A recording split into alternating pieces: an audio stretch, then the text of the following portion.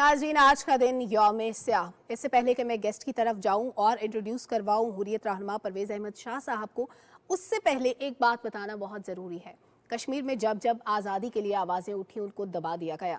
बुरहान वानी की आवाज़ हो, सैयद अली गिलानी की आवाज़ हो, उनके दामाद अल्ताश शाह साहब की आवाज़ हो, उनकी अल्ताश अल्ताफ़ शाह साहब की या सैयद अली गिलानी की जब हम बात करते हैं, उनको तिहाड़ जेल में एक तवील अरसे तक कैदो बंद की सहूबतें काटना पड़ी। उनको सेहत की सहूलियात नहीं दी जाती थी। उनको डॉक्टर्स नहीं दिए जाते थे जब वो बीमार होते थे। अल्ताफ़ शाह साहब की बेटी रोवा शाह ने कई बार अपीलें की दरख्वास्तें की, इल्तजाएँ की कि उनके वालिद को खुदारा सेहत की सहूलियात दी जाएँ, जो कि नहीं दी गई। किसी भी माशरे को दबाने के लिए सबसे पहले उस माशरे के अदीबों को नज़र बंद कर दिया जाता है सियासतदानों को बंद कर दिया जाता है और उसके बाद वहाँ पर इस तरह से तसलुत कायम किया जाता है जिस तरह भारत इस वक्त मकबूजा वादी में कर रहा है। हुरियत रहनुमा परवेज़ अहमद शाह साहब हमारे साथ स्टूडियोज़ में मौजूद है। बिला तखीर मैं उनसे गुफ्तु का आगाज़ करूँगी। असल सर कैसे हैं आप? सर आज योम स्याह है। कश्मीरियों के जज्बात हम सब जानते हैं। पाकिस्तान का स्टांस हमेशा से कश्मीर से मुतालिक वाज रहा। हमने हर फोरम पर हमेशा कश्मीर की आज़ादी के लिए बात की रेफरेंडम के लिए बात की, जो कभी नहीं हो पाया, जो पचहत्तर साल पहले कमिट हुआ था। आज हालात क्या हैं? पहले उस पर बात कर लें, उसके बाद दीगर मामला को छेड़ेंगे। जी, बहुत शुक्रिया। मैं आपका भी शुक्रिया अदा करना चाहता हूँ, पाकिस्तान का भी शुक्रिया अदा करना चाहता हूँ। पाकिस्तान टेलीविज़न का खास कर कि जिन्होंने आज ये ट्रांसमिशन हमारे लिए मुख्त की है और हमारे साथ सॉलिडारिटी दिखाई है तो इससे एक अच्छा मैसेज कश्मीरियों को जाता सर है सर ये सॉलिडेरिटी दिखाना हमारा इखलाकी तो फरीजा तो, भी है। हमारी शहरग है कश्मीर हमारे बहन भाई हैं। जैसे मैंने पहले कहा ना कि कहा जाता है पाकिस्तान से रिश्ता क्या ला इलाहा इल्लल्लाह। तो ये ला इलाहा इल्लल्लाह एक ऐसा रिश्ता है जिसे कोई तोड़ नहीं सकता। नहीं इसको रिटेरिएट जब हम करते हैं तो इससे बहुत अच्छा sorry to interrupt you sir इस वक्त वज़ीर मुमलिकत बराए खारजा अपने और उसमें किसी को ये ऑप्शन नहीं है कि वो उनका ये राइट क्योंकि टाइम बीत गया है, क्योंकि 75 इयर्स हो गए हैं, उसको डिनाई कर सके। No matter how big power and therefore I think Pakistan का यही मकसद है कि हम इंशाल्लाह पीसफुल मीन से लीगल मीन से डिप्लोमेटिक मीन से, उनका ये राइट ऑफ़ सेल्फ डिटर्मिनेशन की जो जंग है, या जो ज़रूरत है वो पूरी दुनिया में उसका ना सिर्फ़ केस लड़ें बट बट उसको किसी ना किसी इंशाल्लाह कंक्लूजन पे पहुंचाएँ। और दुनिया का कॉन्शियस जो कि कश्मीर के ऊपर थोड़ा सा मध्यम हो गया है। उसको दोबारा उजागर करें। In the light of all the conflict जो पूरी दुनिया में है क्योंकि ये कॉन्फ्लिक्ट 75 इयर्स बैक है इसका ये मतलब नहीं है कि ये कॉन्फ्लिक्ट इम्पोर्टेंट नहीं है। राइट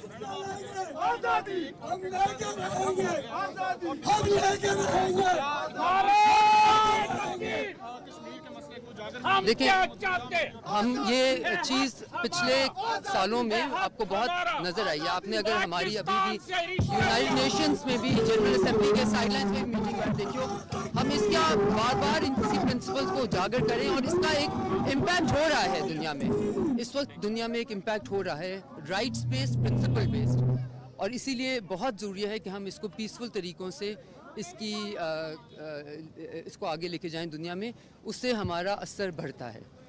थैंक यू वज़ीर ममलिकत बरए खारजा उमूर हिना रब्बानी खर साहिबा रैली के शुरा से बात कर रही थी और उन्होंने कहा कि पचहत्तर साल गुजरने का ये हरगज़ मतलब नहीं है कि मसले की अहमियत कम हो गई है।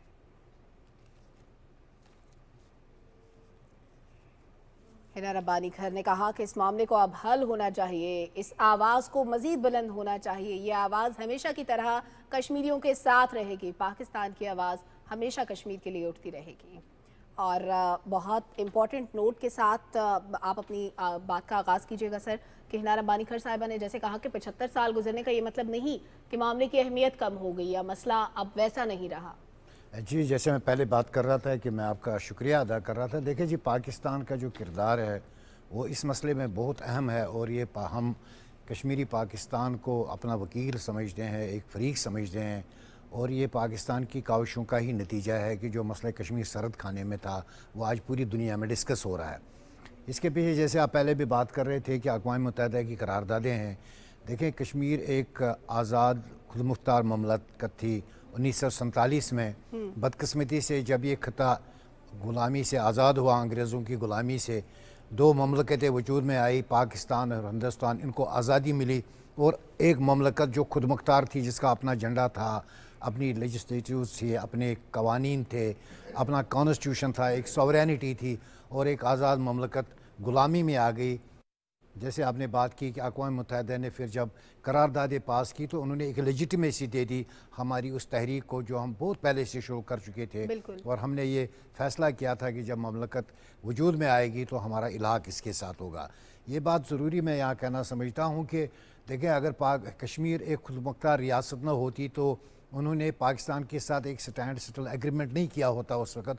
और ये स्टैंड सेटल एग्रीमेंट इस बात की गमाजी करता था कि हम पाकिस्तान के साथ जाना चाहते थे और एज ए सॉवरन हम इनके साथ ज्वाइन करना चाहते हैं। लेकिन हिंदुस्तान ने जब वो समझ गया कि कश्मीरियों का सेंटिमेंट जो है और पार्टीशन प्लान जो है उसके मुताबिक कश्मीरी पाकिस्तान के साथ जाना चाहते हैं उन्होंने सत्ताईस अक्टूबर को वहाँ पे फ़ौजें उतारी। और ये आज का ही दिन सयाह दिन नहीं है बल्कि हर दिन हमारे लिए एक सयास दिन होता है। लेकिन चूँकि हिंदुस्तान ने मकबूजा कश्मीर में पाबंदियाँ लगाई है, हम इजहार नहीं कर सकते हैं, वहाँ कब्रिस्तान की खामोशी है। तो जिस दिन आप ये समझे कि जब इस सयाह दिन को जब हम ऑफिशियली मना रहे हैं और ऑफिशियली दुनिया को ये बावर करा रहे हैं कि देखें हिंदुस्तान के जुल्म जबर के बावजूद हम एक दिन इस दिन सारी दुकानें बंद होती है, कश्मीर में मूवमेंट बंद होती है घरों से लोग बाहर नहीं निकलते हैं। एक कर्फ्यू होता है तो एक किस्म का रेफरेंडम होता है दुनिया को। तो हमेशा से होता है। कब कभी ऐसा हुआ कि कोई दिन कश्मीर में कर्फ्यू ना हो? नहीं कश्मीर में तो हर दिन लाशें उठती हैं हर दिन वहाँ पे होता है कि जनाजे तो हमें पढ़ने नहीं दिए जाते हैं। अब तो ये सूरत हो गई है कि अब जब बंदा हमारा कोई भी कश्मीरी शहीद होता है तो उसको तो उसकी लाश भी हमें नहीं दी जाती है। उसको पता नहीं वो दफन गिलानी साहब की डेड बॉडी सैद अली गिलानी साहब को ना सिर्फ़ ना उनकी डेड बॉडी दी गई बल्कि उनकी बेहरमती की गई उनको घसीटा गया। उसी तरह जब से आप अल्ताफ़ साहब की बात कर रहे थे तो उनको जेलों में रखा गया और वहाँ पे उनको खातिर का इलाज नहीं दिया गया और अल्टीमेटली हमने देखा कि उनकी शहादत हो गई। और ऐसे ही हमारे बल्कि सैकड़ों लीडर्स पॉलिटिकल बल्कि है, जो इस वक्त मकबूजा कश्मीर की मुख्तलिफ़ जेलों में है और ओवर क्राउडेड जेल्स में है, जिनके पास मेडिकल की कोई फैसिलिटी नहीं है। हमारे एक बड़ी हुरियत रहनमा पीर सैफुल्ला साहब है, जो इस वक्त सख्त बीमार है और ट्यूमर है उनका सर में, लेकिन उनको भी इलाज की सहूलियात मैसर नहीं है। शबीर अहमद शाह साहब है, मसरत आलम साहब, सदियों से हम ये कहेंगे कि पिछले कई दहाइयों से वो जेल में है मैं ये कहूँगा पिछले तीस साल से मुसलसल उन पर पब्लिक सेफ्टी एक्ट जो चेयरमैन है इस वक्त हुरियत कॉन्फ्रेंस के उनको भी रिलीज़ नहीं किया जा रहा है। बहुत जुल्म तो किया जा रहा है और इस जुल्म के लिए पाकिस्तान हमेशा अपने मौकफ पर कायम रहा कि कश्मीरियों को उनका हक के खुद इरादियत मिलना चाहिए तालीम सेहत मज़हब हर चीज़ की आज़ादी मिलनी चाहिए। इसीलिए एक जहती का इजहार किया जा रहा है और वक्ता फ़वक्ता हम दिखा भी रहे हैं पाकिस्तान में सेमिनार्स का रैलियों का अहतमाम किया गया है बात की जा रही है हर फोरम पे। मुशीर कमर जमान कायरा साहब जो हैं, कश्मीर अफेयर से रिलेटेड उनका पैगाम भी आया। उन्होंने भी कहा कि हम हमेशा हर फोरम पर कश्मीर की हिमायत करते रहेंगे। वज़ीर खारजा, बरए ममलिकत जो हैं नारबानी खर साहिबा, वो वॉक भी कर रही हैं और साथ साथ उन्होंने बात भी की है कश्मीर के लिए। वजी अजम मोहम्मद शहबाज शरीफ का बड़ा वाज पैगाम कि हमारे दिल कश्मीरियों के लिए धड़कते हैं। तो जब हम बात कर रहे हैं कि वहाँ पे ना लोगों को सहूलियात दी जाती हैं, ना आज़ादी दी जाती है, परवेज साहब ये जुल्म सितम हम कई सालों से देख रहे हैं, लेकिन अलमिया ये है कि जब किसी माशरे को, किसी मुल्क को तबाह करने की कोशिश की जाती है, उसकी फिक्री असास को मार दिया जाता है, उसके अदीबों को नज़रबंद किया जाता है। जब हम तहरीक आज़ादी की बात पाकिस्तान के हवाले से करते थे, हम शायर मशरक़ की शायरी को बड़ी अहमियत देते हैं, उसमें हम उन लोगों को बड़ी अहमियत देते हैं जिनकी तहरीरें और तकरीरें आवाज़ बनी। यहाँ पे तो आवाज़ें दबा दी गई यहाँ पे तो कोई आवाज़ नहीं उठा सकता, ना कोई लिख सकता है, ना सियासतदान सियासत कर सकता है, ना लिखने वाले को यह आज़ादी है कि वो अपने शेरों के ज़रिए या अपनी तहरीरों के ज़रिए लोगों में आज़ादी की वो रूह फूंक सके, लेकिन जज्बा है कि कम हो के नहीं देता। क्या यही भारत की शिकस्त नहीं है? देखिए, मैं पहले भी आपको जैसे आपने बात की है, पाँच अगस्त के बाद तो बिल्कुल हर ज़िंदगी का हर शोबा जो है उसको हिंदुस्तान ने मुतासर करने की कोशिश की। हमारी इकानमी हो, हमारी सकाफ़त हो, हमारी सियासत हो, हमारा रहना हो, यानी कि कश्मीर में हिंदुस्तान की इस वक्त कोशिश है कि कश्मीरियों को डिसम्पावर किया जाए हर फ़ील्ड में। आप देखें हज़ारों ट्रक हमारा, क्योंकि हमारी इकानमी की जो बैकबोन है वो हमारा फ्रूट है, सेब है। आप उसके हज़ारों ट्रक रुलते रहते हैं जिनको किसी मंडी में एक्सेस नहीं दी जाती है। आपकी ब्यूरोक्रेसी में हंड्रेड परसेंट ब्यूरोक्रेसी बाहर की है, वहाँ पे डिसम्पावर कश्मीरी कहीं आपको नज़र नहीं आ रहा है, वहाँ का पुलिस का डिपार्टमेंट हो, वहाँ पे पब्लिक वर्क्स का डिपार्टमेंट हो इंडस्ट्रीज़ हो, आपको कई कश्मीरी नज़र नहीं आएगा। आप हर जगह आपको हिंदुस्तान के वही लोग नज़र आएँगे जो हिंदुस्तान का जो मंशूर है, उनका जो मकसद है, उसको आगे परसवेट करते रहते हैं। और बदकस्मती से की बात यह है कि अब ज़मीनें एक्वायर की जा रही हैं लोगों से जबरन। छः हज़ार कनाल अभी तक उन्होंने एक्वायर कर दिए हैं जिस पर वो गेटोज़ बनाने चाहते हैं। बल्कि ये हम कहेंगे कि हिंदुओं की हिंदुओं की वो कॉलोनियाँ बनाना चाहते हैं वहाँ पे और फ़लस्तीन की तरफ़ इस सिचुएशन को ले जाना चाहते हैं। हिंदुओं को डोमिसाइल्स दिए जा रहे हैं। डोमिसाइल सर्टिफिकेट्स ऑलरेडी उनको इशू किए गए ताकि कश्मीरियों का हकीकत इरादत कॉम्प्रोमाइज़ हो। क्योंकि हिंदुस्तान ये जानता है कि कश्मीरी जो है अपने मौके पर डटा हुआ है पिछले पचहत्तर साल में इसने कश्मीरियों को ये जेर नहीं कर सका। अगर कल दुनिया ये बात तस्लीम कर दिए कश्मीरियों को हक खुद इरादे दिया जाए तो हिंदुस्तान तो कहीं नज़र नहीं आएगा। इसलिए वो बाहर के लोगों को वहाँ पे आबाद कर रहा है, बल्कि लाखों की तादाद में, ताकि कश्मीरियों का जो हक खुद इरादत हो ये कॉम्प्रोमाइज़ हो जाए। और ये यूनाइटेड नेशंस की ज़िम्मेदारी है कि जब उन्होंने करारदादी पास की है, एक वादा किया है तो वो इसका पास भी करे और इनको प्रोटेक्ट भी करे। कहीं ऐसा ना हो कि यूनाइटेड नेशन की करारदादी कॉम्प्रोमाइज़ हो जाए और यूनाइटेड नेशन खुद कॉम्प्रोमाइज़ हो जाए कश्मीर कॉन्फ्लिक्ट में। सर कश्मीर के मामले पर हम देखते हैं कि ख़त्े में बहुत से ममालिक कश्मीर के लिए पाकिस्तान के मौक़ की भी हमायत करते हैं। कश्मीर को आज़ादी मिलनी चाहिए। आज़रबाईजान चाइना टर्की और जितने ममालिक हैं पाकिस्तान के मौक़ को सराहते हैं इंडोर्स करते हैं। अकवा मतहदा में करारदादें भी पास होती हैं। फिर करारदादों की इम्प्लीमेंटेशन कहाँ आके रुक जाती है? क्या भारत बड़ी इकोनॉमी है इसलिए?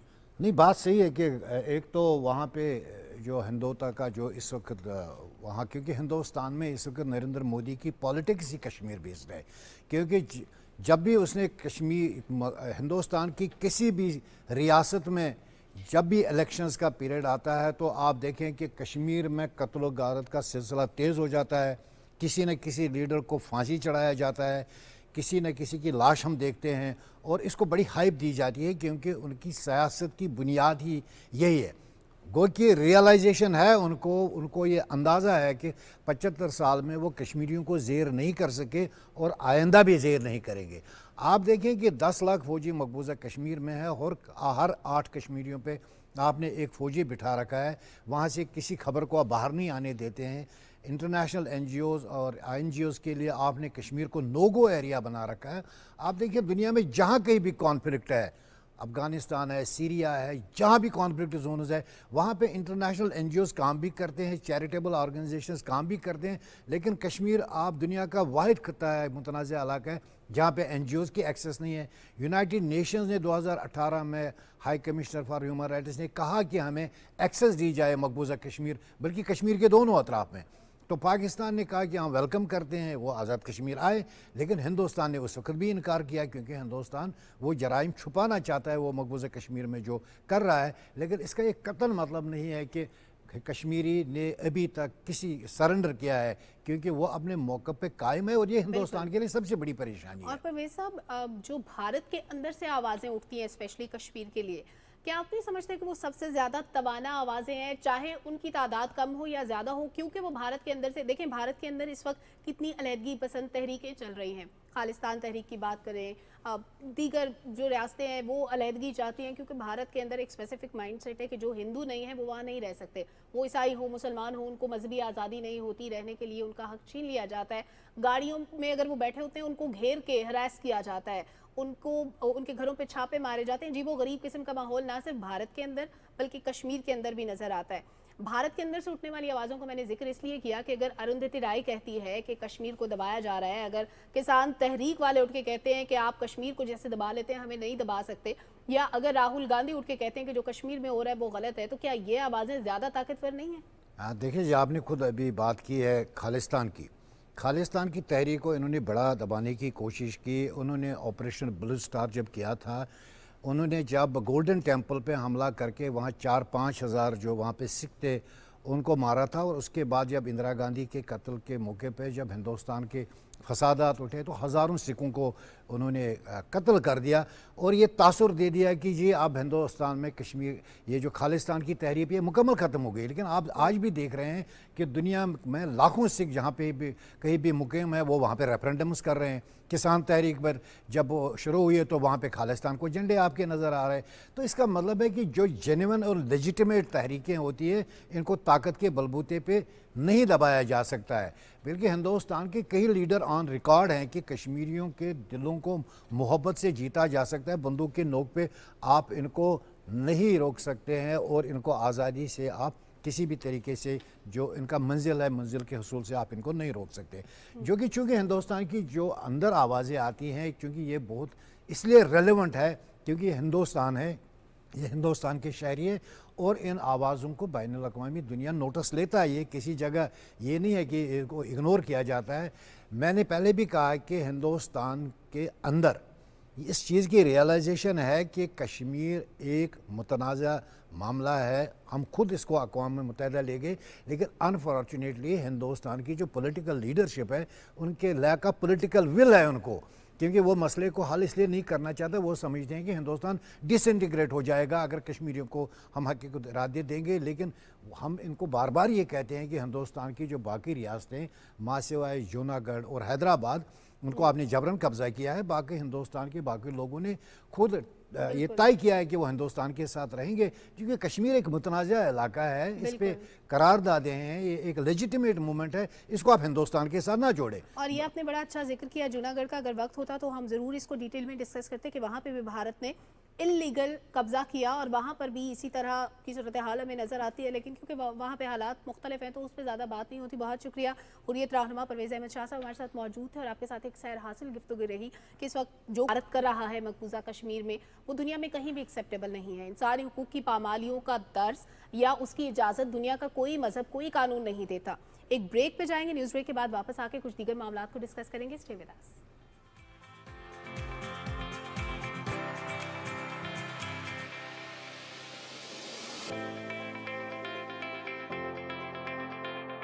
आज योम स्याह के मौके पर मुख्तलिफ़ शहरों में तकारीब का अहतमाम किया गया है और स्पेसिफिकली इस्लामाबाद में वजारत खारजा अमूर की जानब से एक वॉक का अहतमाम किया गया। एक तकरीब हुई वजी ममलिकत बर खारजा अमूर हिना रब्बानी खर साहिबा ने कमर जमान कारा साहब ने खिताब भी किया। प्रोग्राम की तरफ़ वापस आते हैं। कुछ दीगर अहम मामला जिनका ज़िक्र आज होना था एक मामला ये कि जनाब, वी वॉक के ज़रिए गवादर फ्री जोन से पहली खेप की कामयाब तरसील हो गई है, जो कि बहुत खुश आइंद है। China overseas port holding company ने ट्विटर पर अपने पैगाम में ये भी कहा है कि ये तारीखी तरक्की गवादर फ्री जोन में सरमाकारों को उनके वक्त पैसे और तोानाई की बचत के लिए सहूलत फराहम करेगी। तो जनाब गवादर पोर्ट की स्ट्रेटेजिक पोजीशन उसकी अहमियत, उसके फ़वाद क्या क्या चीज़ें हो रही हैं? बिला ताखिर हम बात कर लेते हैं। हमें ज्वाइन कर रहे हैं मुजीबुररहमान कमरानी साहब डीजी गवादर डेवलपमेंट अथॉरिटी अलैक्म सर कैसे हैं सर सबसे पहले तो गवादर पोर्ट की अहमियत। पहली कामयाब तरसील हो गई। आने वाले वक्त में सरमाकारों के लिए कितनी अपॉर्चुनिटीज़ हैं? क्या कुछ हम देख रहे हैं फ्यूचर में? जी बिस्मिल्लाह जैसे आपने खुद वजह तौर पर फरमाया कि ग्वादर पोर्ट बेसिकली ये ग्वादर जो है पिवट है सी पैक का। और ग्वादर फोर्ट जो है ना बड़ी इसकी अहमियत है क्योंकि हम्म। यहाँ पे मेजर जितनी भी बिज़नेस एक्टिविटीज़ हैं यहाँ पे स्टार्ट होंगी हम्म। अब जैसे वीट की तरसील यहाँ स्टार्ट होगी और आगे गवर्नमेंट का जो है प्लान है कि वहाँ से अफगान ट्रांजिट ट्रेड इन इंशाल्लाह यहाँ से स्टार्ट होगा सही तो जब अफगान ट्रांजिट ट्रेड से यहाँ पे बहुत सारी इकनॉमिक एक्टिविटी फ्यूचर में जनरेट होने जा रही है हम्म। ग्वादर फोर्ट के फुली फ़ंक्शन होने से न सिर्फ़ पूरे मुल्क में जो है ना इकनॉमिक एक्टिविटी जनरेट होगी बल्कि ग्वादर शहर में भी काफ़ी सारी दीगर जो है वो तजारती सरगर्मियाँ फ़रोग पाएँगी दीगर सरगर्मियों के लिए भी बहुत से मौके मौजूद होंगे। अच्छा सर स्ट्रेटेजिक पोजीशन बड़ी अहम है गवादर की। कौन कौन से मुल्कों के साथ हम कनेक्ट कर सकते हैं? कौन से ममालिक को हम राहदारियाँ दे सकते हैं? और स्ट्रेटेजिक पोजीशन का फ़ायदा उठाते हुए हमें क्या बेनिफिट्स मिल सकते हैं? देखिए ना, ग्वादर जिस ग्वादर की बेसिकली इंपॉर्टेंस उसकी स्ट्रेटेजिक पोजीशन की वजह से है। बेसिकली ये वार्म वाटर्स हैं। अब जैसे पीछे आप अगर हिस्ट्री में चले जाएँ तो रशिया और ब्रिटेन, ग्रेट ब्रिटेन जो है, वो उनके दरमियान जो जंग थी बेसिकली इसी गर्म पानी रसाइयों की थी।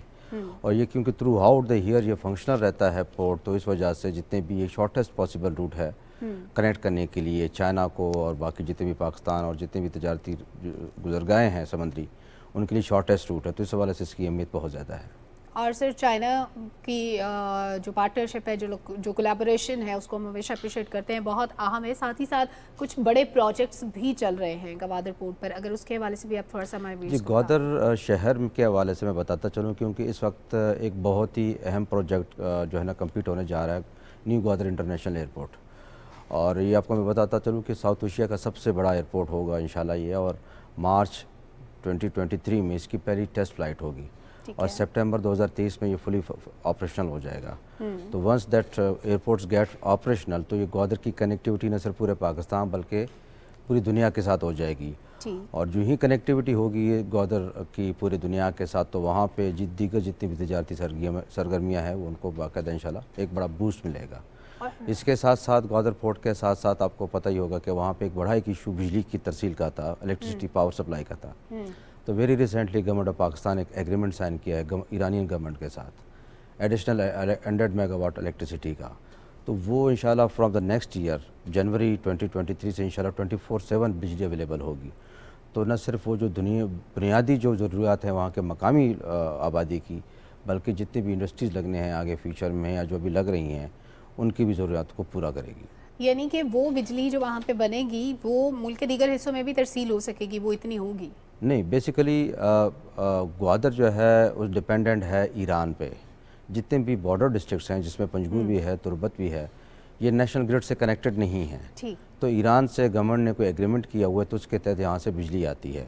अब क्योंकि जो शॉर्टेज आ रही है शॉर्टफॉल हो रही है तो उसको कैटर फॉर करने के लिए गवर्नमेंट ने ईरानी गवर्नमेंट के साथ एक एग्रीमेंट किया एडिशनल हंड्रेड मेगावाट का। इसके साथ साथ गवर्नमेंट क्योंकि एक परमानेंट सोर्स भी हो ताकि वो रिलायंस सिर्फ़ ईरानी गवर्नमेंट पे ना हो तो ग्वादर को नेशनल ग्रिड के साथ भी कनेक्ट किया जा रहा है। ज़बरदस्त। और इसके साथ साथ तीसरा एक बड़ा अहम प्रोजेक्ट है 300 मेगावाट कोल पावर प्रोजेक्ट जो चाइनीज़ असिस्टेंस से जो है ना वो उस पर काम हो रहा है। तो ये और चौथा जो है वो एक सोलराइजेशन भी गवर्नमेंट काम कर रही है कि ऑफ़ ग्रिड और on grid solution solar solutions तो ये चार बड़े प्रोजेक्ट्स बिजली के हवाले से चल रहे हैं तो इंशाल्लाह होपफुली जो क्विक फिक्स था क्योंकि ऑलरेडी ट्रांसमिशन लाइन अवेलेबल है ईरान ईरानियन साइड से तो क्विकली इस इशू को रिजॉल्व करने के लिए ईरानी गवर्नमेंट के साथ अंडर एडिशनल जो है ना वो इलेक्ट्रिसिटी का जो है ना इनके साथ एग्रीमेंट किया गया। ये तो बड़ा ज़बरदस्त और एक फ्रूटफुल इनिशिएटिव होगा क्योंकि हम पावर शॉर्टेज की तरफ़ जा रहे थे तो हमें बिजली की ज़रूरत थी। लेकिन सर, ये भी अगर आप बता दें कि जिन सोर्सेज से बिजली बनाई जाएगी, वो क्या होंगे? कौन सा सोर्स हम यूटिलाइज़ करेंगे? क्योंकि पहले हम ईंधन से बनाते थे, हमें काफ़ी कॉस्ट पड़ती थी, फिर पर यूनिट कॉस्ट बढ़ जाती थी एंड यूज़र तक जाने तक। नहीं देखो वो तो ईरानी गवर्नमेंट ही बनाएगी जो वो उनका अपना ही वो है। हमें बेसिकली वो एक फिनिश एक जो है ना बिजली हमें रीजनेबल रेट्स मिलेंगे। रेट्स पे जो हमारे अपने एप्लीकेबल रेट्स है उसके तहत हमें बिजली मुहैया होगी बाकी एक मैंने बताया कि जैसे कोल कोल से हम्म। जो है ना वो 300 मेगावाट का जो कोल पावर प्लांट पर लगेगा। वो जारी बात है कोल से ही चलेगा कोयले से चलेगा। और बाकी सोलर तो जो आपको पता है सोलर सोल्यूशन तो टोटल शमसी तवाने से होगा जी। ठीक। अच्छा सर सियाहत का हम देखते हैं बड़ा पोटेंशियल मौजूद है उन एरियाज़ में।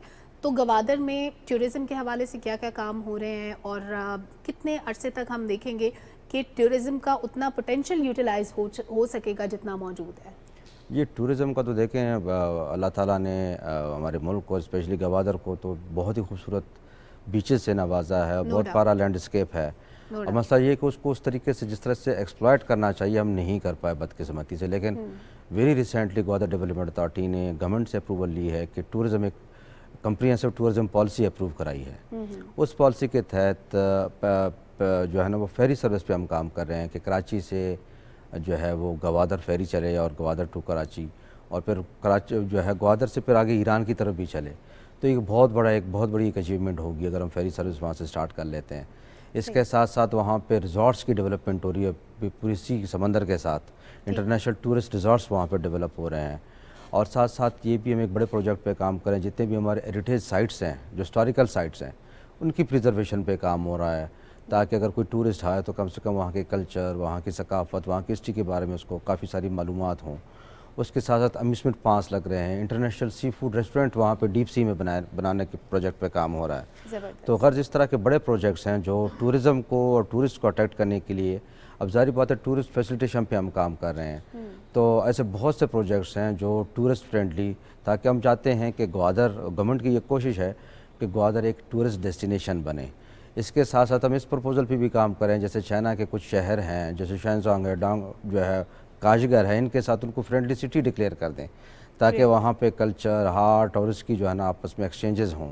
तो इस हवाले से इन नियर फ्यूचर बड़ा ही जो है ना वो एक ब्राइट प्रॉस्पेक्ट्स हैं टूरिज़्म के हवाले से। और एज़ ऑफ़ नाउ भी काफ़ी सारे लोग कराची से मुल्क के दीगर हिस्सों से आते हैं वहाँ पे ग्वादर में और अच्छी खासी सहूलियात वहाँ पे दस्तियाब हैं टूरिज़्म के हवाले से। सर नो डाउट बड़ी ज़बरदस्त जगह है but you are the most relevant person जिनको मैं ये भी बताऊँ कि कुछ लोग जो बाय रोड ट्रैवल करते हैं, वो बेचारे थोड़ी सी शिकायत करते नज़र आते हैं कि रेस्ट एरियाज़ कम है। क्योंकि सफ़र थोड़ा सा लंबा होता है बाय रोड कराची से जब गवादर की तरफ़ जाते हैं अब तो जी वेरी रिसेंटली गवर्नमेंट ने सात रेस्ट एरियाज़ अप्रूव किए हैं फ्रॉम कराची टू गवादर तो वो all along the coast line वहाँ पे रेस्ट एरियाज़ बन रहे हैं। ग्रेट और इसके साथ साथ प्राइवेट सेक्टर भी वहाँ पे रेस्ट एरियाज़ पे काम करे बल्कि तीन चार रेस्ट एरियाज़ उरमाड़ा और जो, है ना कुंडमलिर में बहुत बड़ा जो है वहाँ रेस्ट एरिया है। फिर उरमाड़ा में एक नया प्राइवेट सेक्टर ने बनाया हुआ है। सही। अभी हमने चाइनीज़ गवर्नमेंट के साथ हमने प्रपोजल सबमिट की कि जो ऑल पूरे कोस्टल जो बेल्ट है उसमें टूरिज़्म को प्रमोट करने के लिए जो है इंटरनेशनल लेवल के रिजॉर्ट्स और रेस्ट एरियाज़ बनाए जाएँगे।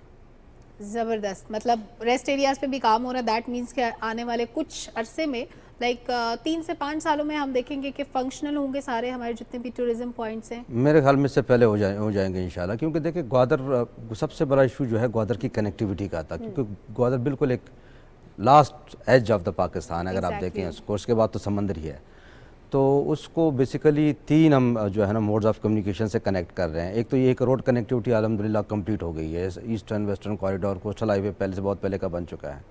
फिर मैंने एयर कनेक्टिविटी की बात की कि साउथ एशिया का सबसे बड़ा एयरपोर्ट वहाँ पर एयर बस 380 वहाँ पे लैंड कर सकता है। उसके साथ साथ हम सी कनेक्टिविटी की हम उस पर भी काम करें कि फेरी सर्विस भी चले। तो इंशाल्लाह जब ये तीन मोड ऑफ़ सर्विस जब अवेलेबल होंगे लोगों को तो वो भी मेरे ख्याल में it is matter of year और टू ज़्यादा से ज़्यादा दो तीन साल में इंशाल्लाह ये सारी जो एम्यूनिटीज़ हैं इंशाल्लाह डेवलप हो जाएँगी। उनमें काफ़ी सारी एम्यूनिटीज़ डेवलप हो चुकी हैं। अच्छा मुजीब साहब हम सरमायाकारों की जब बात करते हैं तो हमें थोड़ी सी प्रोजेक्शन की तरफ़ भी आना पड़ता है कि जब जितना अच्छा हम प्रोजेक्ट करेंगे उसको जितना अच्छा पोर्ट्रे करेंगे उतने ज़्यादा लोगों को हम इंगेज कर सकेंगे। क्या हम इसमें भी काम कर रहे हैं? और सरमायाकारों का कैसा एटीट्यूड जी जी बड़ा है? आपने अच्छा क्वेश्चन पूछा है क्योंकि इस वक्त मैं समझता हूँ कि Gwadar is going to take off और take off on the sustainable model कि एक सस्टेंड मॉडल पर ये टेक ऑफ़ करने जा रहा है। बहुत सारी अपॉर्चुनिटीज़ हैं न सिर्फ़ लोकल इन्वेस्टर्स के लिए बल्कि फॉरेन इन्वेस्टर्स के लिए। उसके साथ साथ जितने भी लोकल जो रोज़गार करते हैं उनके लिए भी बहुत बड़ी अपॉर्चुनिटीज़ हैं। सही। अब जैसे मैंने आपको पहले अर्ज़ किया था जैसे Afghan trade transit trade start होने से बहुत सारे जो है ना वो अलाइड इंडस्ट्रीज़ वहाँ पे वहाँ पे आ जाएँगी। सही। अच्छा दूसरा हम we are also going to launch CBD central business district downtown हम डेवलप करने जा रहे हैं। और उसको हम इंशाल्लाह नवंबर में लॉन्च करने जा रहे हैं। तो ये डाउनटाउन तकरीबन पच्चीस हज़ार एकड़ पे मुहित सरकार की स्टेट लैंड पे हम जो है ना वहाँ पे स्काई स्क्रैपर्स बनने जा रहे हैं सेवन स्टार होटल्स बनने जा रहे हैं multi storey building and business and commercial centres बनने जा रहे हैं।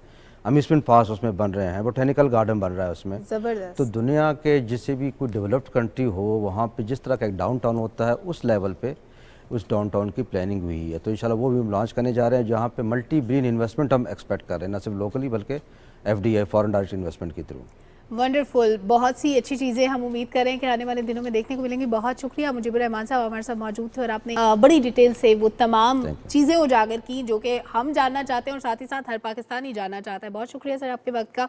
और वापस आते हैं अपने टॉपिक की तरफ़ कश्मीर। हमारी शहरग, हमारा अटूट अंग, जिसके लिए आज हम योम स्याह मना रहे हैं। 27 अक्टूबर उन्नीस से एक बार फिर से मैं इस बात पे ज़ोर दे रही हूँ कि 27 अक्टूबर उन्नीस सौ सैंतालीस और 2022 के दरमियान का जो गैप है, इन 75 सालों में बहुत कुछ हुआ। दुनिया बदल गई, रहने के अंदाज बदल गए, टेक्नोलॉजी ने तरक्की कर ली, लेकिन कश्मीरियों को हक खुद इरादियत अब तक ना मिल सका, आज़ादी अब तक ना मिल सकी, बल्कि आज़ादी देने के बजाय 5 अगस्त 2019 को आर्टिकल 370 और 35 ए के खात्मे के बाद वहाँ पर लोगों से जायदाद का हक छीन लिया गया। वहाँ पे हिंदू आबादकारी शुरू कर दी गई। हिंदुओं को डोमिसाइल्स देने शुरू कर दिए गए। डेमोग्राफिक चेंजेस की कोशिश की गई ताकि आइंदा जो भी तस्वाब राय हो, उसमें भारत बड़ा स्मार्टली बड़ी चालाकी के साथ ये पोर्ट्रे कर सके कि हिंदुओं की तादाद ज़्यादा है। हिंदू अक्सरियत है जबकि ऐसा नहीं है। ऑन ग्राउंड सिचुएशन क्या है? हम हालात को बदलने में कहाँ पे लैग कर रहे हैं? हमारा मौकफ अगर दुनिया मानती है, जानती है, पहचानती है तो फिर अभी तक अकवा मुतहदा की करारदादें क्यों अमल दरामद की मुंतजर हैं? खत्े में कश्मीरियों के लिए पाकिस्तान की हमायत सब जानते हैं। हल के लिए मुमकिन इकदाम क्या हो सकते हैं? इन तमाम चीज़ों को डिस्कस करेंगे। द वेरी रेलिवेंट पर्सन हमें ज्वाइन कर रहे हैं। आलमी उमूर के माहिर हैं chairman department of political science और international relations Islamic international university Islamabad professor doctor Mohammad Khan साहब सलाम सर कैसे हैं आप? सर कश्मीर के लिए आज हम बात कर रहे हैं, हमेशा करते हैं, जब कोई मौका होता है, जब कोई बात हो, बल्कि अदरवाइज़ भी पाकिस्तान टेलीविज़न खसूसी प्रोग्राम्स करता है कश्मीर के लिए। कश्मीर में हमारे बहन भाई आज़ादी के मुंतजर हैं। इस वक्त फ़ौजों की तादाद बढ़कर तकरीबन 10 लाख तक पहुँच चुकी है। हालात कब बदलेंगे? बसमीम बहुत शुक्रिया आपका। आ, मुझे मुझे मदू करने का ख़ास करके एक ऐसे इशू पे जो तमाम पाकिस्तानियों के दिलों में है और तमाम वो कश्मीरी जो इस वक्त मकबूजा कश्मीर में नहीं भी हैं सॉरी टू इंटरप्ट यू यहीं से गुफ्तु का आगाज़ करेंगे। इस वक्त सूबाई वज़ीर नासिर हुसैन शाह साहब यकजहती के लिए जो रैली निकाली गई है उसके शुरा से खिताब कर रहे हैं। मौजूद हैं और आप सब देखें कि एक बड़ी तादाद है पाकिस्तानियों की जो पूरी दुनिया में कश्मीरियों के साथ उनका ये अज़म जो है वो दोहरा रही है और मैं मकबूजा कश्मीर से आए हुए अपने इंतहाई मोहतरम दोस्त का भी बहुत शुक्रिया अदा करूँगा कि वो भी यहाँ पे आए। हमारे स्पेशल असिस्टेंट तारिक हसन साहब भी हैं स्पेशल असिस्टेंट आसिफ अली ख़ान साहब हैं कमिश्नर इकबाल साहब और आपने देखा कि सिविल सोसाइटी और दीगर मुकम्मल जो एडमिनिस्ट्रेशन है वो यहाँ पे है और ये वो लोग हैं जो सच्चे पाकिस्तानी हैं जो पाकिस्तान से प्यार करते हैं। और आज अपने कायद कायद आज़म मोहम्मद अली जिना के सामने आकर हमने ये एक अज़म दोबारा दोहराया है कि जो हमारे कश्मीरी भाई बहन हैं हम उनके साथ हैं। पाकिस्तान कश्मीर जी। ये इल्ज़ाम होता था। जी। इमरान खान साहब के ऊपर के उन्होंने कश्मीर का सौदा कर दिया। जी। अब वज़ीर खारजा आपके हैं कश्मीरी साल में है अब तक कोई तब्दीली नहीं आई। बेटा मोदी ना कश्मीर पे बात करने को तैयार है और ना ही कश्मीरियों को आज़ादी देने के लिए जो है वो तैयार है। तो क्या फ्रेम वर्क है आपके पास? किस तरह कश्मीरियों को मदालत से निजात दिलाएँगे? देखें बैन अवी तौर पर मुकम्मल तौर पर इस पर हमेशा उजागर किया जा रहा है और इस वक्त जब foreign minister chairman Bilawal Bhutto Zardari साहब हैं तो आपने देखा कि कुछ ही अरसे में, अभी कुछ माह ही हुए हैं, लेकिन उन्होंने हर फॉरम पर कश्मीर की आवाज़ उठाई और बैन अवी तौर पर सबसे कहा है कि वो अपना रोल अदा करें और इंडिया पर उसको प्रेशराइज करें। कि जो कश्मीरी हैं जिनको इस वक्त अकलीत में तब्दील करने की कोशिश की जा रही है। वहाँ पे कत्लेआम हो रहा है लोगों को कैद किया जा रहा है वहाँ पे डेमोग्राफिक चेंज की तरफ़ वो जा रहे हैं तो इस चीज़ को चेयरमैन बिलावल साहब ने हर जगह पर उजागर किया है और हम अपने कश्मीरी भाई बहनों के साथ साहब ये बताएँ कि ये सवाल का प्लेटफार्म नहीं है लेकिन क्योंकि कश्मीरी बेगुनाह शहीद हो रहे हैं और कल एक रहनमा ने नौ बजे अचानक सूबाई वज़ीर नासिर हुसैन शाह इस वक्त एक चहती वॉक के शरका से खिताब कर रहे थे। उन्होंने कहा कि कश्मीर के लिए हमेशा आवाज़ उठाते रहेंगे। हम कश्मीर के साथ हैं। कश्मीर के लिए बात कर रहे हैं। प्रोफेसर डॉक्टर मोहम्मद खान साहब हमारे साथ मौजूद हैं। प्रोफेसर साहब, अपनी बात मुकम्मल कीजिए जी, बहुत शुक्रिया मैडम। मैं ये कह रहा था कि वो क्वेश्चन जो आपने मुझसे किया कि इस वक्त कश्मीरी पूछ रहे हैं कि हमें ये आज़ादी कब मिलेगी। मैं ये समझता हूँ कि पाकिस्तान का बच्चा बच्चा बूढ़ा जवान, औरत और मर्द सब ये क्वेश्चन कर रहे हैं कि कश्मीरियों को उनका राइट ऑफ़ सेल्फ डिटर्मिनेशन कब मिलेगा। ये चीज़ तो अपनी जगह हकीकत है कि पाकिस्तान कश्मीर के लिए इसी तरह खड़ा है जिस तरह कश्मीरी अपनी एक काज रखते हैं। क्योंकि कश्मीरी और पाकिस्तानी कोई दो अलग कौमें नहीं है वो एक ही कौम है। और उन्नीस सौ सैंतालीस से लेकर आज तक पाकिस्तान ने कश्मीरियों की जदजद आज़ादी के लिए वो तमाम काविशें लाई हैं बरोकार लाई हैं जो यकीनन कश्मीरियों की सेटिस्फेक्शन भी है और कश्मीरियों का जो राइट ऑफ़ सेल्फ डिटर्मिनेशन है उसके लिए भी ये एक बड़ी मानी रखती हैं। आज भी अगर दुनिया में देखें कि कश्मीरियों के साथ अगर कोई कौम खड़ी है या कोई मुल्क खड़ा है तो वो पाकिस्तान खड़ा है। और पाकिस्तान दुनिया के हर मुल्क में हर कैपिटल में हर पावर सेंटर में ये कोशिश करता है कि कश्मीर के इशू को उजागर भी करे। और कश्मीरियों की वो जो एक मॉरल पॉलिटिकल और एक जो स्ट्रगल यूएन के चार्टर के तहत या यूएन की रेजोल्यूशन के तहत है उसको हर हर लिहाज से उजागर करे और वाजह करे। आज का दिन पूरे पाकिस्तान में मनाने का मकसद जैसे हाल ही में आपने दिखाया कि इस वक्त पाकिस्तान के एक्सट्रीम से जो साउथ है सिंध में अगर वहाँ आप कश्मीरियों के साथ जो रैलियाँ कश्मीरियों की हमायत में निकल रही हैं तो ये इस चीज़ का बेन सबूत है कि पाकिस्तानी कौम कश्मीरियों के साथ खड़ी है हम्म। अब जहाँ पूरी पाकिस्तानी कौम कश्मीरियों के साथ खड़ी है और कश्मीर के राइट ऑफ़ सेल्फ टर्मिनेशन के लिए अपना हर लिहाज से आगे जाने के लिए तैयार है वहाँ मैं आपको गुजारिश करूँ कि ये मामला हल क्यों हल की तरफ़ क्यों नहीं जा रहा है इस वक्त दुनिया के जो बड़े बड़े ममालक हैं, ख़ास करके जो सुपर पावर्स हैं, जो मेजर इकनॉमिक सेंटर्स हैं तो उनके इंटरेस्ट हैं इंडिया के साथ और जब इंटरेस्ट है इंडिया के साथ तो वो इंडिया को किसी सूरत में भी नाला नहीं करने चाहते। लेकिन सर, देखें, ये interest with passage of time develop हुआ ना, हम जब पिछहत्तर साल की बात करते हैं, सौ साल पे मुश्तमिल एक सदी होती है, सदी का एक तिहाई हिस्सा गुजर चुका है, सिर्फ़ पच्चीस साल बाकी हैं।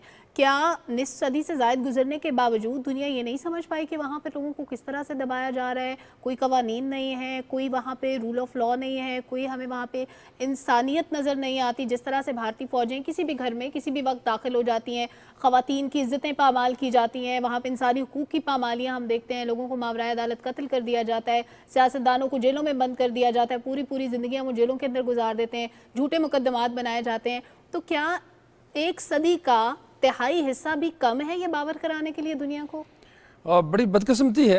अगर हम कोल्ड वार की तरफ़ जाएँ सर्द जंग के दौर में कश्मीर पे जितने भी रेजोल्यूशन है ये वेस्ट की तरफ़ से आई हैं। और चूँकि पाकिस्तान उस वक्त कैपिटलिस्ट ब्लॉक का हिस्सा था वेस्टर्न ब्लॉक का हिस्सा था और पाकिस्तान की फेवर के लिए या कश्मीर के हल के लिए तमाम ये वेस्टर्न ब्लॉक खड़ा था। लेकिन उस वक्त आपने देखा कि फार्मर सोवियत यूनियन इस रास्ते में हायल था। लेकिन आज जब उन्नीस सौ नब्बे के बाद एक सिनेरियो बदला दुनिया एक यूनिपोलर वर्ल्ड की तरफ़ चली गई। तो वही हिंदुस्तान जो पहले अपने सारे के सारे जो एफर्ट्स थे, वो फॉर्मर सोवियत यूनियन के साथ रखता था। तो आज उसके ताल्लुक बहुत तेज़ी से उजागर हुए हैं गुजशत तकरीबन तीन दहाइयों से वेस्टर्न ब्लाक के साथ कैपिटलिस्ट ब्लाक के साथ।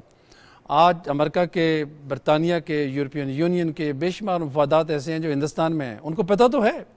ये चीज़ जो आप फरमा रही हैं कि क्या उनको इस चीज़ का एहसास नहीं है, उनको एहसास तो ज़रूर है।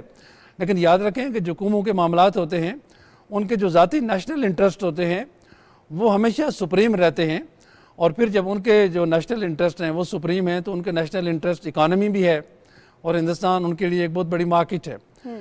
फिर इसके साथ साथ उनके लिए जो इंटरेस्ट हैं वो स्ट्रेटजिक भी हैं। और जब स्ट्रेटजिक की बात मैं करता हूँ तो यही वो वेस्टर्न ब्लाक है पहले सोवियत यूनियन के ख़िलाफ़ खड़ा था तो आज ये चाइना के ख़िलाफ़ खड़ा है। और आपको पता है कि पाकिस्तान और चाइना के तल्लक में बहुत ही कुर्बत है और ये कुर्बत वक्त के साथ साथ बढ़ती रही है। अब वो किसी सूरत में ये नहीं चाहते कि हम उस मसले को हल कराएँ जो कि चाइना और पाकिस्तान की बॉर्डर पे है क्योंकि ज़ाहिर है जब ये अनसेटल रहेगा कश्मीर का इशू तो पाकिस्तान तो अनस्टेबल रहेगा ही पाकिस्तान को अनस्टेबल करने में देर नहीं लगती। लेकिन सर, आपकी एक्सपर्टीज़ की रोशनी में मैं चाहती हूँ कि आप इस बात को थोड़ा सा डिटेल में बताएँ। आप आलमी उमूर पर बड़ी गहरी नज़र रखते हैं। अगर इंडिया माशी हब है, अगर इंडिया बड़ी इकोनॉमी है तो पाकिस्तान की स्ट्रेटजिक पोजिशन बड़ी इंपॉर्टेंट है। पाकिस्तान के पास भी बहुत कुछ है। वेस्ट के इंटरेस्ट तो पाकिस्तान के साथ भी हैं। फिर झुकाव भारत की तरफ़ क्यों नज़र आता है स्पेशली अमेरिका का? हाँ ये बड़ा इंपॉर्टेंट क्वेश्चन है। उसकी वजह यह है कि अगर पिवटल पोजीशन देखें तो वो पाकिस्तान की है। जियोग्राफिकल पिवट जो है वो पाकिस्तान ही। है और इसको सिर्फ़ हम नहीं कहते हम पाकिस्तानी नहीं कहते बल्कि दुनिया और ख़ास करके अमेरिकन जियोग्राफर मैकिंडर इस चीज़ पे बड़ा वाजह कहता है कि पाकिस्तान की पोजीशन बहुत पिवटल है। याद रखिएगा कि ख्वा वो सर्द जंग के दौर में या उससे पहले की जो एक ग्रेट गेम थी तो उसका भी यही इलाका हिस्सा रहा है। उसमें पाकिस्तान की ये जो पोजीशन है पिवटल पोजीशन बदकस्मती से मिस यूज़ हुई है। और तारीख में अगर आप देखें, हमारी सर्द जंग के दौर में था, उन्नीस सौ अस्सी का ख़ास करके एक बड़ा डिसाइसिव दौर था। और पाकिस्तान ने एक पिवटल रोल अदा भी किया। लेकिन वेस्टर्न पार ने और उन मफादात ने या उन कुतों ने, जिनने पाकिस्तान या इस इलाके को इस्तेमाल किया, उनने पाकिस्तान के साथ प्रामिस तो ज़रूर किए। लेकिन बदकस्मती से जब रेजोल्यूशन की बात आई तो कश्मीर का इशू रिजॉल्व नहीं हुआ। और फिर आप यूँ भी देखें कि कश्मीर का इशू भी अगर रिजॉल्व नहीं हुआ तो पाकिस्तान के नेबरहुड पे अफ़गानिस्तान का इशू भी अभी रेजोल्यूशन के किसी नज़दीक में नहीं देखता हूँ उसको। क्योंकि हर दस साल बाद एक नई आफत वहाँ पर आ जाती है और एक, एक नए मिसाइल खड़े हो जाते हैं। उसमें सफ़र अगर अफ़गानी है तो मैं समझता हूँ कि अफ़गानियों से ज़्यादा पाकिस्तान सफ़र है इसलिए कि पाकिस्तान एक स्ट्रेटजिक कौम है एक स्ट्रेटजिक नेशन है एक स्ट्रेटजिक वेपन रखने वाली कौम है।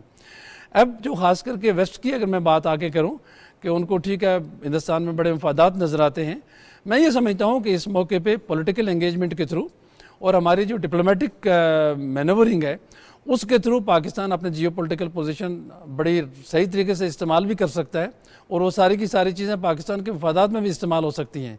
कहीं ना कहीं मैं समझता हूँ कि हमारी तारीख में अगर हम नज़र दौड़ाएँ तो इस मामले पे हमारी कोताहियाँ नज़र आती हैं कि हमने पाकिस्तान की जियोग्राफिकल पोजीशन इस तस्वीराती पोजीशन का सही इस्तेमाल नहीं किया। अगर किया है तो बाहर की ताकतों ने किया तो उन्होंने अपने मफादात हासिल किए। जहाँ तक पाकिस्तान के मफादात की बात है तो पाकिस्तान के मफादात कभी भी सर्व नहीं हुए। आज भी मैं अगर आपको बताऊँ कि जियो स्ट्रेटजिक पोजिशन या जियो पोलिटिकल पोजिशन तो वही है, लेकिन क्या हम इसकी सही इस्तेमाल की तरफ़ भी जा रहे हैं या नहीं जा रहे हैं? तो वक्त आ गया है कश्मीर को लेके या पाकिस्तान की अंदरूनी सिचुएशन के लेके, क्योंकि जब तक कश्मीर का मसला हल नहीं होता, मैं समझता हूँ कि पाकिस्तान में भी स्टेबिलिटी नहीं आएगी।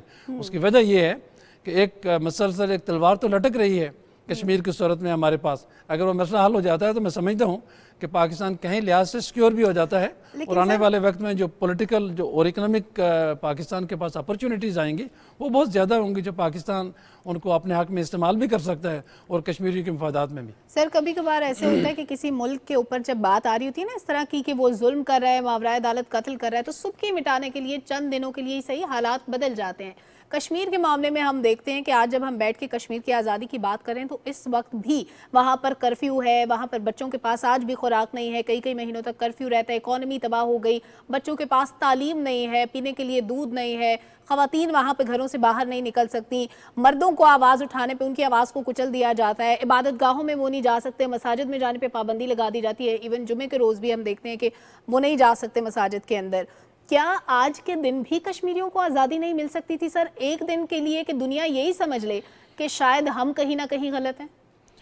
देखिए उन्नीस से लेकर आज तक चूँकि आज के दिन सुबह आठ बजे हिंदुस्तान की फ़ौजें मकबूजा कश्मीर में उतरी और उसके बाद आज तक मुसलसल हिंदुस्तान की फौजों का वहाँ तसलत है यानी एक ऑक्यूपेशन का तादाद बढ़ चुकी है दस लाख के करीब अब तो चूँकि 2019 में ये तादाद दस लाख के करीब हो गई और प्रैक्टिकली ये सिचुएशन है क्योंकि मेरे कुछ स्टूडेंट भी हैं मकबूजा कश्मीर से।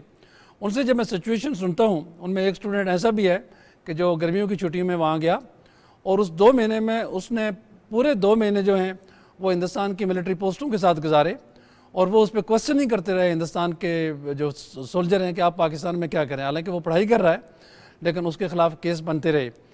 अब सिचुएशन ये है कि उन्नीस सौ सैंतालीस से लेकर आज तक ये दिन क्या किसी दिन भी कश्मीरियों में या कश्मीरियों के साथ जो आज तक जुल्म सितम होता रहा है उसमें लटअप नहीं हुआ उसमें हम्म। कमी नहीं हुई है। लेकिन इस जुल्म सितम का जो एक बहुत मैं समझता हूँ कि तारीख बाब है जो पाँच अगस्त 2019 के बाद शुरू होता है। वहाँ पे हिंदुस्तान ने यूनिलैटरली कश्मीर को अपने साथ अनेक्स कर दिया। हम्म। और ये इलीगल अनेक्सेशन है जो कि हिंदुस्तान के अपने कानून की भी खिलाफ वर्जी थी। मकबूजा कश्मीर का जो अपना कॉन्स्टिट्यूशन का उसकी खिलाफ वर्जी थी। फिर यूनाइटेड नेशन के चार्टर की खिलाफ वर्जी थी। और उससे भी बड़ी बात मैं आपसे गुजारिश करूँ कि यूनाइटेड नेशन की जो रेजोल्यूशन है कश्मीर पर उनकी खिलाफ वर्जी थी। ये वो रेजोल्यूशन है जिसको पाकिस्तान के साथ साथ हिंदुस्तान ने और पूरी आलमी ताकतों ने एक्सेप्ट किया कि कश्मीरियों को उनका राइट ऑफ़ सेल्फ डिटर्मिनेशन मिलना चाहिए और वो यूएन के अंदर अंडर थ्रू थ्रू प्लेबस्टेट मिलना चाहिए। हम्म। अब हिंदुस्तान ने उस वक्त इस चीज़ का इकरार किया। मैं अगर हिंदुस्तान के इकरार की बात करूँ हिंदुस्तान ने तो इकरार किया लेकिन हिंदुस्तान की जो सब्सिक्वेंट लीडरशिप है वो टाइम गेन करते रहे। यहाँ तक कि वो पाँच अगस्त 2019 तक पहुँचे। आज जो सिचुएशन मैं मकबूजा कश्मीर की आपसे शेयर करना चाहता हूँ वो सिचुएशन कुछ यूँ है कि वहाँ कर्फ्यू तो है प्रैक्टिकली लेकिन लोग घरों से बाहर भी नहीं निकल सकते कर्फ्यू के बगैर भी। उसकी वजह यह है कि गलियों में या तो हिंदुस्तान का फौजी खड़ा है या फिर आर एस के गुंडे खड़े हैं। और ये वो आर एस एस के गुंडे हैं जो किसी न किसी सूरत में कश्मीरियों को आ, उसको उनको टारगेट करते हैं टारगेट किलिंग करते हैं। फिर हिंदुस्तान की फ़ौज तीन चार चीज़ों पे बड़ी सख्ती से कारबंद है। एक तो उनका मौजूदा टारगेट जो है वो कश्मीर के नौजवान हैं। वो बच्चे और तकरीबन मैं समझता हूँ कि मैं 99 की बात नहीं करता हूँ मैं 100 परसेंट कश्मीरी बच्चों की बात करता हूँ नौजवानों की बात करता हूँ कि वो हिंदुस्तान के अंदर अंडर तसलत में नहीं रहना चाहते। अब वो उनको एक एक करके टारगेट किया जा रहा है कुछ को उठा लिया जाता है और जाके फेक इनकाउंटर किए जाते हैं और वो फेक इनकाउंटर में मार के उनको दहशत गर्द ज़ाहिर किया जाता है। अब इसमें कोई मैकेनिज्म नहीं है मकबूजा कश्मीर में जो इस चीज़ को रिपोर्ट करे। हम्म। जब चीज़ें रिपोर्ट नहीं हो रही हो रही होती तो इंटरनेशनल कम्युनिटी को यकीनन वो फ़र्स्ट हैंड जो इन्फॉर्मेशन चाहिए होती है वो नहीं पहुँच रही है। Exactly. अब इस सिलसिले में मैं आपसे गुजारिश ये करूँ कि वक्त आ गया है जैसे आपने फरमाया कि पचहत्तर साल बहुत ज़्यादा है क्वार्टर सेंचुरी है। इसके इस, इसके बाद मेरा ख्याल हमारे पास वक्त नहीं है।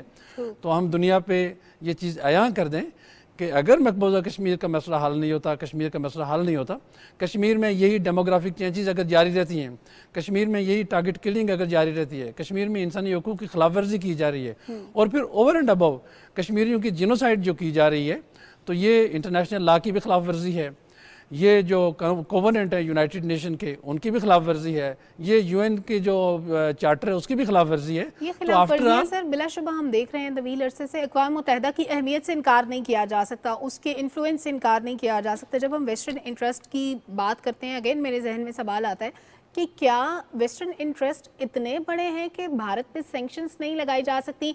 उसकी मैक्सिमम जो उसका आउटकम है, वो क्या हो सकता है? उसकी इम्प्लीकेशंस क्या हो सकती हैं? अगर भारत पे किसी किस्म की पाबंदियाँ लगती हैं एक मुल्क को बचाने के लिए, फिर जब हम कश्मीर को देखते हैं, एक खूबसूरत मुल्क जहाँ पे पोटेंशियल मौजूद है बड़ा, कश्मीर को अगर आज़ादी दी जाती है इकॉनमी को तो भारत ने दबा रखा है ना? अगर वहाँ पर इकॉनमी ग्रो करती है तो वो इंटरेस्ट जो भारत के साथ वाबस्ता थे, क्या वो कश्मीर के साथ मुंसलिक नहीं हो सकते? बिल्कुल हो सकते हैं। मैं आपको कहूँ कि जब ह्यूमन राइट्स के हिसाब से हम बात करते हैं तो ह्यूमैनिटेरियन इश्यूज़ ऐसे हैं कि दुनिया उस पर खड़ी हो जाती है वेस्ट में ख़ास करके जिनको हम सिविलाइज वेस्ट कहते हैं। आ, लेकिन मैं आपको बताऊँ कि ये तो आप सही फरमा रही हैं कि क्या वेस्टर्न इंटरेस्ट इतने बड़े हैं कि कश्मीरियों के ह्यूमन राइट्स पे या उनके जो यूएन की प्लेबिसिट के मुताबिक रेजोल्यूशन है उससे बड़े उससे बड़े यकीन नहीं हैं। लेकिन प्रॉब्लम क्या हो रही है इस वक्त दुनिया में ये हो रहा है बल्कि मैं गुजशत एक दहाई से आपको ये बताऊँ कि हिंदुस्तान का झूठ भी बिक रहा है और हमारा सच भी नहीं बिक रहा है। अब जब ये सिचुएशन हो जाए तो मैं समझता हूँ कि हमें कहीं ना कहीं जहाँ पे हमारी कहीं लैकिंग्स हैं डिप्लोमेटिक लेवल पे, ख़ास करके मैं आपसे ज़िक्र करूँ, कि हिंदुस्तान के डिप्लोमेट्स अपने झूठ को सच प्रूव करने की कोशिश कर रहे हैं और हमारे डिप्लोमेट्स कहीं ना कहीं जो पोलिटिकल एंगेजमेंट्स हैं, वो कम रही हैं। अब कम क्यों रही हैं, वो भी मैं आपसे बात करूँ। पाकिस्तान को इस वक्त ज़रूरत ज़रूरत है और कश्मीर को इस वक्त ज़रूरत है एक मस्तकम पाकिस्तान हो, एक मज़बूत पाकिस्तान हो। और मज़बूत पाकिस्तान कैसे होगा? सबसे पहले अंदरूनी तौर पे पाकिस्तान में पॉलिटिकल स्टेबिलिटी आनी ज़रूरी है। ये जगह, ये बात तो अपनी जगह सच है कि कश्मीर के मामले में पाकिस्तान की तमाम सियासी जमातों का मौक़ एक ही है कि कश्मीरियों को उनका राइट ऑफ़ सेल्फ डिटर्मिनेशन मिले, क्योंकि ये हमारी स्टेट का, यानी स्टेट ऑफ़ पाकिस्तान का मौक़ है। लेकिन प्रॉब्लम कहाँ आ जाता है कि जब ये इंटरनली अपने मुख्तलिफ़ डिफरेंसेस में रहते हैं तो फिर दुश्मन को एक मौका मिलता है कि इनके डिफरेंसेस को एक्सप्लाइट करे। और आजकल आपको पता है कि मीडिया बहुत बड़ा वेपन है डिप्लोमेसी बहुत बड़ा वेपन है एजुकेशन बहुत बड़ा वेपन है।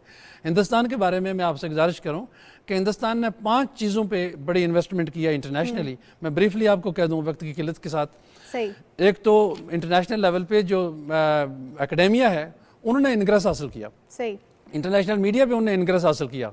तीसरे लेवल पे उन्होंने जो फाइनेंस हैं इंटरनेशनल वहाँ पे अपनी जगह बनाई। चौथा जो इंटरनेशनल जहाँ भी ये जाते हैं वहाँ की जो सरकारी मुलाजमतें इनग्रेस करते हैं। और पाँचवीं चीज़ बहुत इंपॉर्टेंट है कि जो आईटी है जो इस वक्त सब कुछ सबका हब आईटी है तो उस पर उनका बड़ा कंट्रोल है।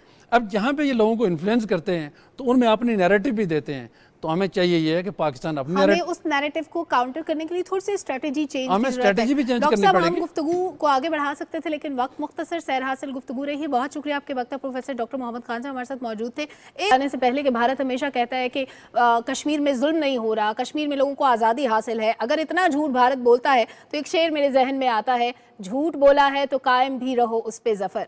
आदमी को साहिब किरदार होना चाहिए। जुल्म का ये सिलसिला बंद होना चाहिए। कश्मीर को आज़ादी मिलनी चाहिए। पिछहत्तर साल हो गए, आज भी हम योम सयाह की बात करते हैं। तो एक बार फिर से कहूँगी कि आज कश्मीर के लिए आज़ादी की बात करते हुए हम देखते हैं कि कश्मीर के अंदर कर्फ्यू नाफिज है। लोग घरों में बंद हैं, लोगों को सेहत की सहूलियात नहीं है, तालीम की सहूलियात हासिल नहीं है। ये तमाम चीज़ें दुनिया को नज़र आती हैं। लेकिन नोटिस नहीं लिया जाता, कोई आवाज़ नहीं उठाता। सिर्फ़ पाकिस्तान की आवाज़ नहीं, और भी आवाज़ें उठनी चाहिए। दुनिया भर से ये आवाज़ें आनी चाहिए। आज दुनिया भर में योम स्याह मनाया जा रहा है। आज का दिन दोबारा कभी ना आए, कश्मीर में आज़ादी का सूरज दोबारा तुलू हो। यही दुआ है, इसी दुआ के साथ आज के प्रोग्राम का अख्ताम कल हाजिर होंगे। अल्लाह हाफिज़।